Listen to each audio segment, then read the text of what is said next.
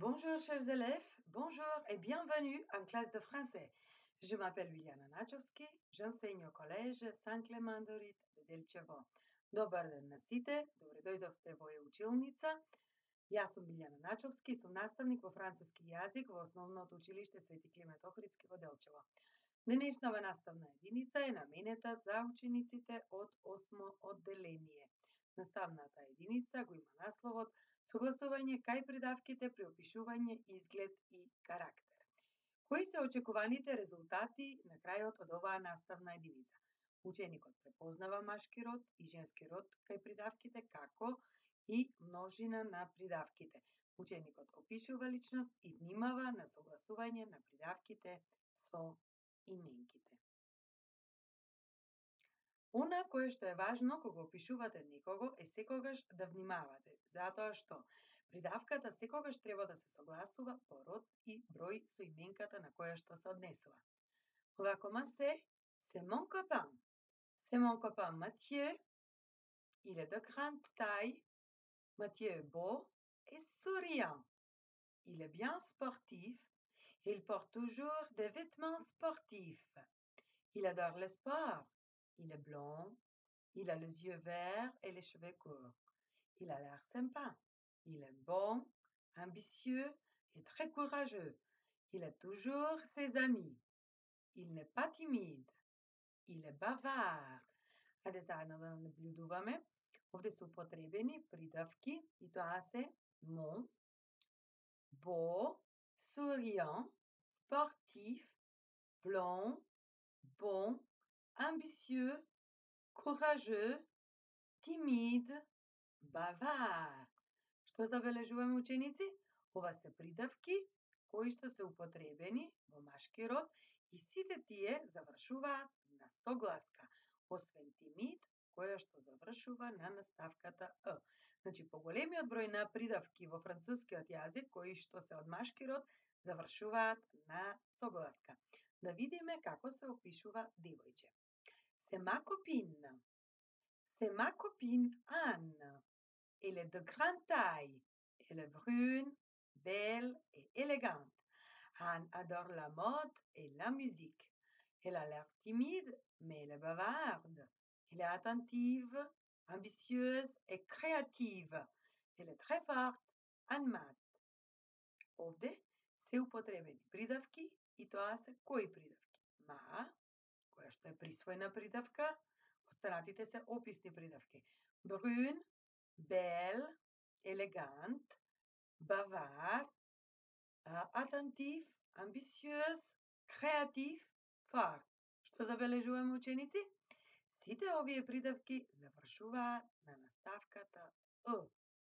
Значи, придавките во францускиот јазик во женски род завршуваат. Но да се подсетиме, on va réviser le féminin des adjectifs.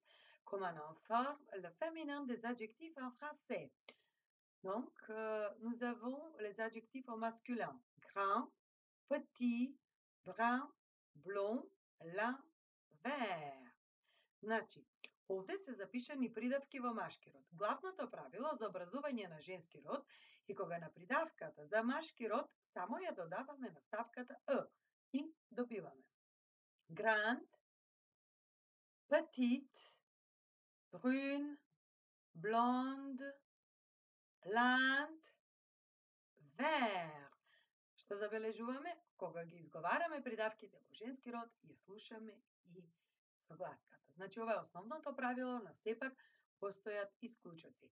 Се надевам дека вие се сеќавате дека постоја неправилни придавки и неправилни форми кои што ги користевме за опис, а тоа се бо во машки род, женски род беше како?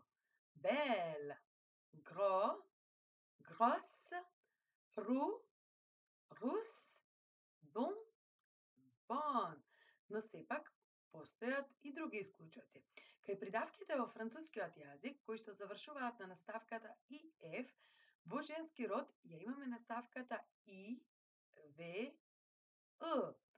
Потоа, ако завршува на наставката ы, ю, x, во женски род таа наставка се заменува со ы, ю, с, ы. Ако завршува придавката во машки род на «ë», тогаш таа останува непроменета во женски род, значи останува иста. Ако завршува на «ë», «р», тогаш во женски род имаме «ë», avec accent grave, хер «ë» и ако завршува на ставката «о», «н», тогаш во женски род имаме «н», «н», «ë», значи удвоено «н». Да видиме со пример. Спортив во женски род ќе биде како? Спортив. Heureux, heureuse. Calme, calme. Cher, cher. Mignon, mignon.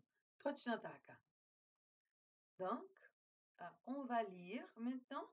J'ai beaucoup de copains. Mes copains sont blonds, bruns et roux. Ils sont différents, mais je les aime beaucoup. Ils parlent beaucoup. Ils sont bavards, amusants et sympathiques.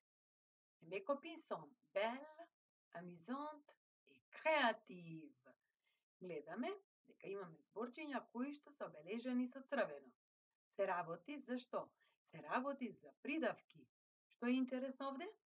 Сите завршуваат на наставката S. Значи на крајот имаат S, освен ру која што има наставката X. Зошто е тоа така ученици? Мекопел, дали е еднина или множина? Множина, точно така. Значи предпоставувате. Придавките во францускиот јазик во множина го добиваат знакот S, односно ја даваме буквата S. Значи, основното правило за образување на множина е со додавање на наставката S. И овде имате неколку примери. Il a les yeux verts, les yeux, множина, vert во множина, нели? Mes copains sont calmes, les copines de Paul sont belles, mes copines de classe sont amusantes.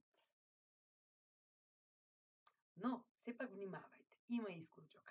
Кај оние придавки кои што завршуваат на S или на X во еднина од машки род, тие во множина остануваат исти. Значи имаме Николај Кро, mes copains sont gros aussi, Paul est ambitieux, mes cousins sont ambitieux. Значи остануваат исти. Ајде сега да видиме кој е точниот одговор. Никола е ambitieuse, bavard, calme. Ајде размислете, Никола е Bavard, точно така, браво. Марие, belle, triste, ambitieux. Belle, браво. Elle a les yeux, les yeux во множина. Vert, vert ou vert avec S. Très bien.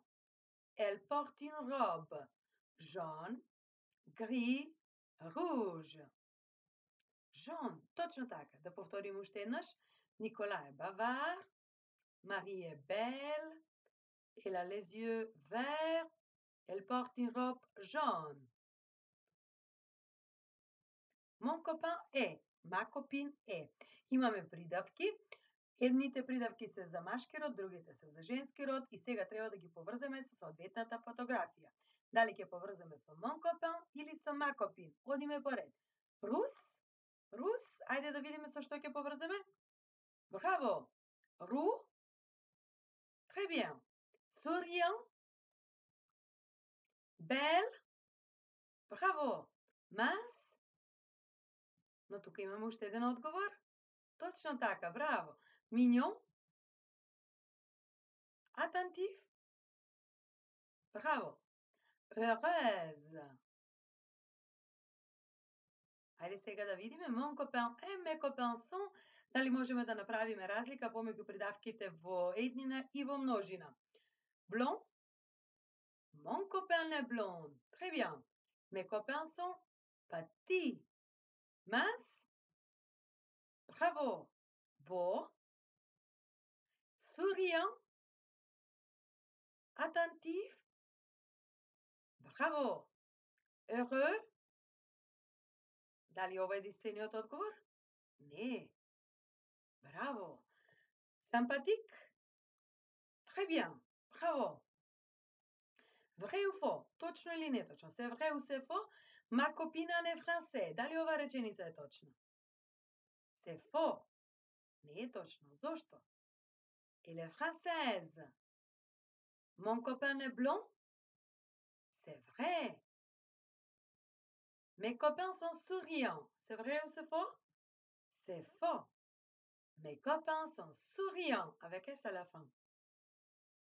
Et maintenant, euh, on regarde euh, les descriptions et cinq photos. On va voir quelle description correspond à quelle photo. Je suis brune Je porte des lunettes et des vêtements roses. Qui suis-je? Je suis brune et belle. Je porte des lunettes. Bravo! Le garçon brun, c'est Laurent. Il est souriant. Le garçon brun, c'est quelle photo? Très bien. La fille blonde aux yeux bleus, c'est Sylvie. C'est quelle photo? Bravo. Mon copain Henri est roux, mince et vraiment gentil. Mon copain Henri est roux? Bravo. Ma copine Josiane a les cheveux noirs. Elle porte des lunettes, elle est amusante. Très bien, très bien. Merci. Donc, Ова беше нашата наставна единица, согласувањето на придавките при опишување, изглед и карактер. Значи треба да внимавате секогаш да ја согласувате придавката по род и број со именката на која што се однесува. Вашата домашна задача ќе биде да опишете еден другар и една другарка, а со тоа да ги примените придавките за машки и за женски род. Бон шанс а тус et а тут. Ова беше се од мене. Орвуар, revoir. се гледаме.